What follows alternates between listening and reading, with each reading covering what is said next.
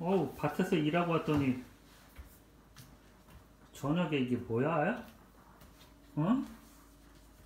나의 사랑? 이거 무슨 그 시래기국이지? 어 시래기국 시래기국. 우리 밭에서 했던 거 그날 탄수화물 줄인다고 밥 조그만 거고.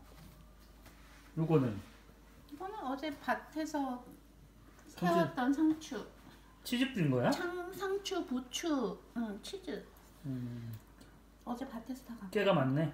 어, 어 이거 작년에 우리 밭에 깨 어, 요거는 요거는 아, 요거? 이거 닭 주말에. 아, 당나귀. 주말에 아, 먹었던 걸 다시 데운 거구나. 응, 응. 이거 태국스러운 건네 어, 음식이구나. 이거 내 거. 이것저것 어제 하려고 했던 어, 퓨전 어제 하려고 했던 고등어. 고등어. 응.